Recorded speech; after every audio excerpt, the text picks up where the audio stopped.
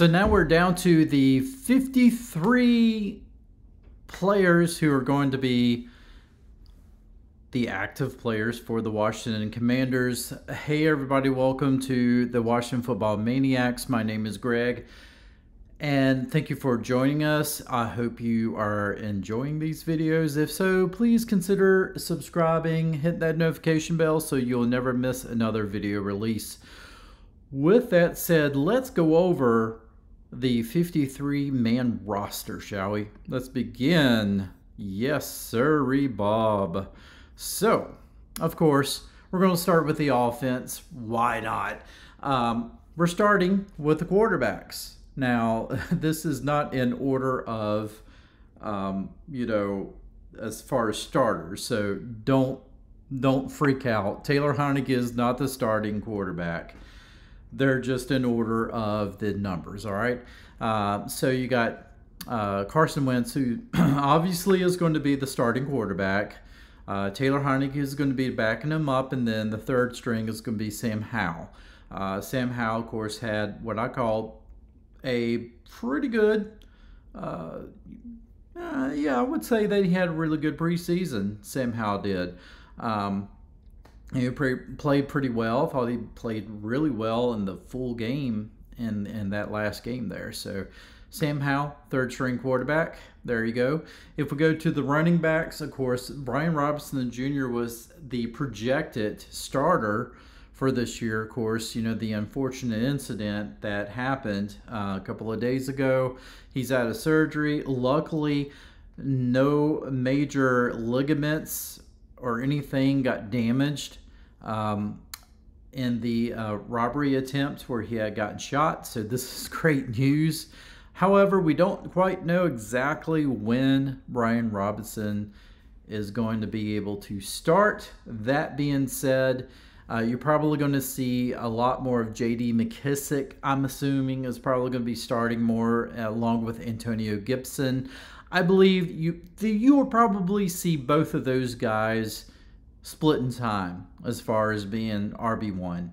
Um, but nevertheless, when Robinson is ready to go, he will probably be the starter. Um, and then, you know, of course, Jonathan Williams wound up being uh, one that, oh, yeah, I've got a cat here.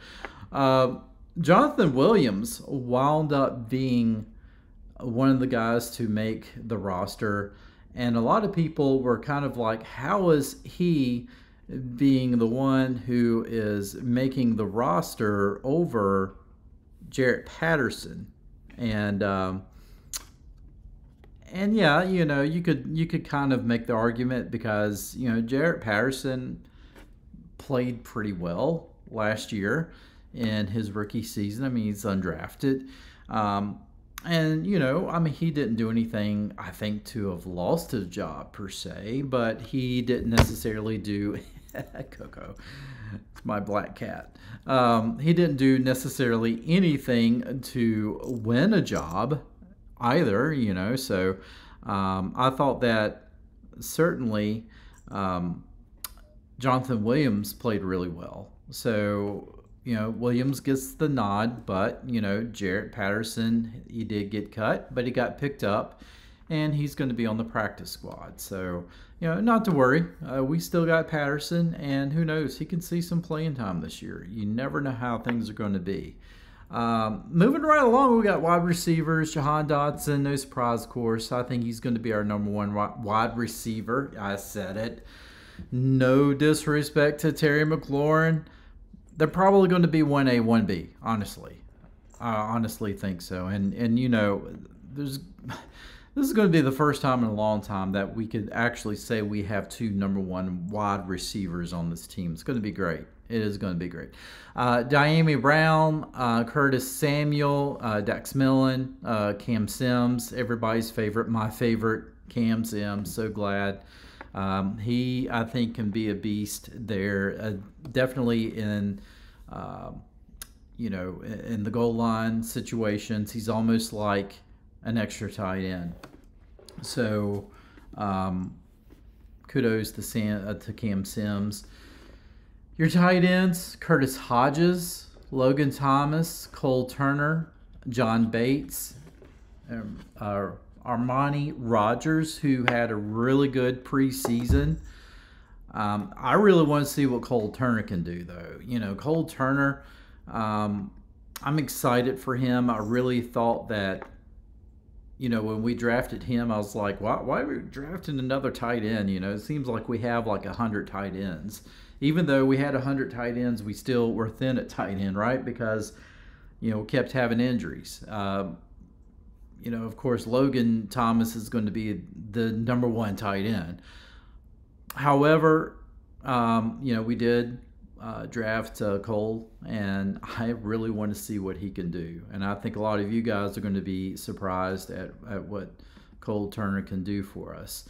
Uh, moving right along, uh, the offensive line, uh, Trai Turner, Andrew Norwell uh, is probably going to get the, the nod. Um, Wes Schweitzer, Schweitzer, Charles Leno Jr., uh, Chase Roullier, who's healthy again, Chris Paul, uh, who has taken the place of um, the sheriff, Brandon Scherff, who left us, um, Sam Cosmi, Saahdiq Charles, and Cornelius uh, Lucas.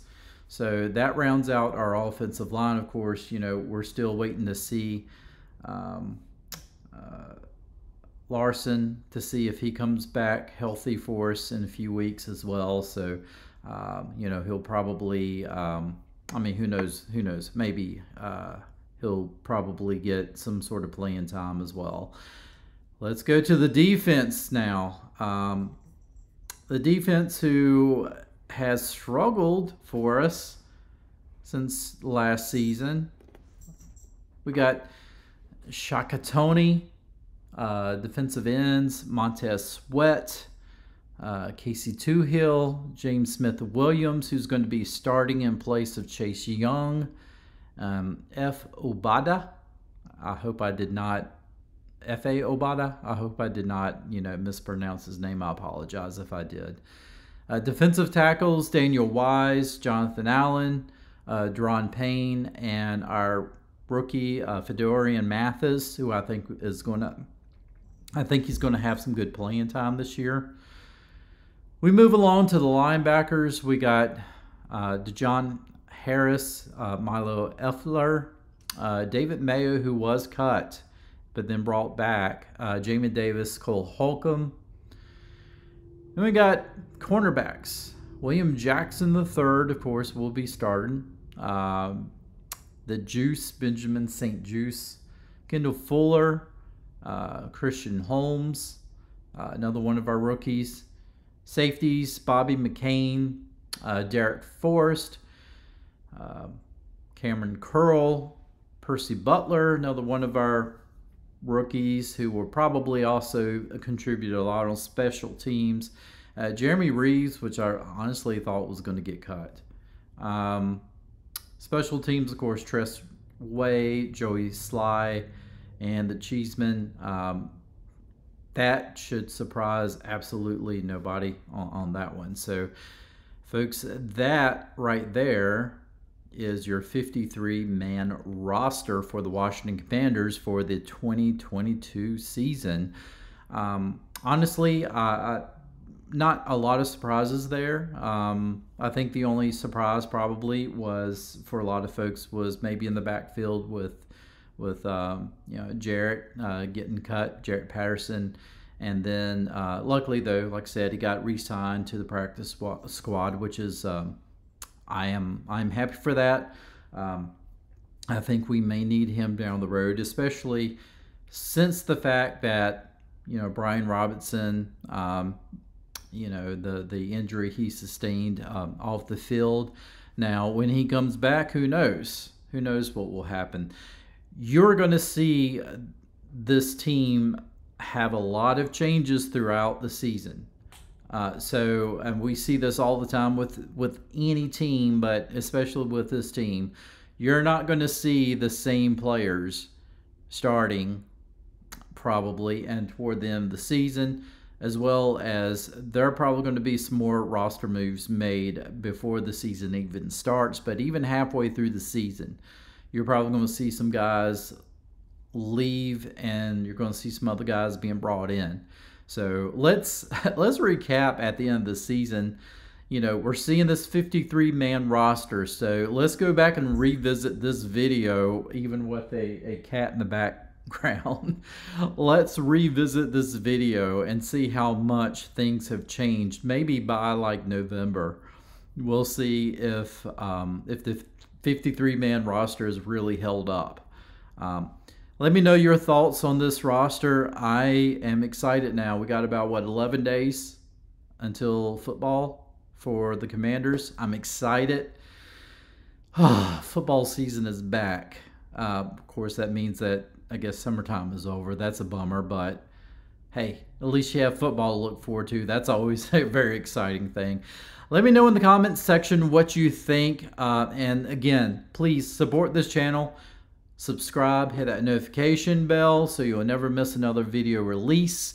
If you want to support this channel in other ways, you can do so by doing this.